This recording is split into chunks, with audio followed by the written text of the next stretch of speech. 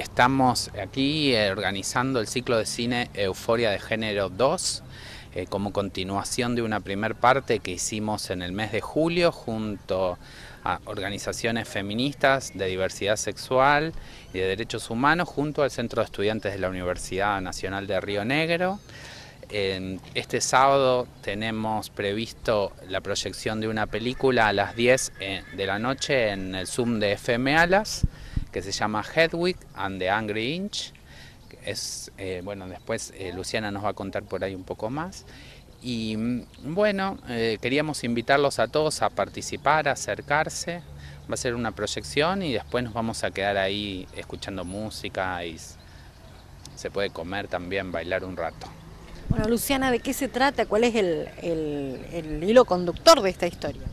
Bueno, este ciclo en particular, o sea, el volumen 2, lo que hicimos fue elegir tres películas cuyas tramas giran en torno a historias de vida de personas trans.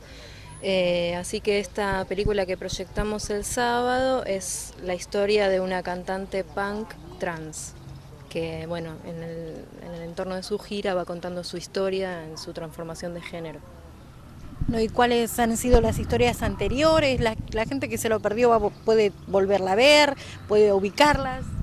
Bueno, en realidad eso no, no, definimos. Tal vez podríamos eh, dejar algún, vacapiar todo en un lugar, pero eh, el ciclo anterior eh, que, hicimos en junio fue muy exitoso, teníamos mucha gente, todo, todas las proyecciones y respondían bien.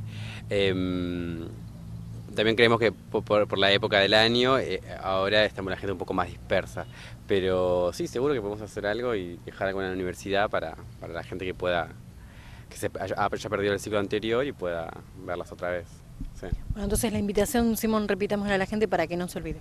El sábado a las 22 en el Zoom de FM Alas para compartir la película Hedwig y después nos quedamos a compartir otro rato.